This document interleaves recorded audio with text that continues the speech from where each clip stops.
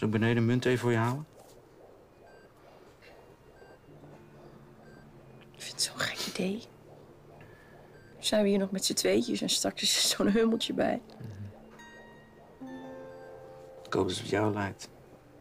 In elk opzicht. Op, joh.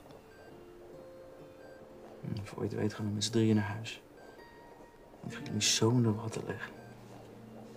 Zwart geblakerde watten zeker. Ik zorg dat het perfect uitziet als jullie thuiskomen. Oh, het lijkt me dat lekker zeg, thuis zijn. Maar ik kan ook hier blijven. Ze gaan niet eens echt trouwen. Je bent veel belangrijker. Hé schat, ik wil al die foto's en filmpjes van je zien.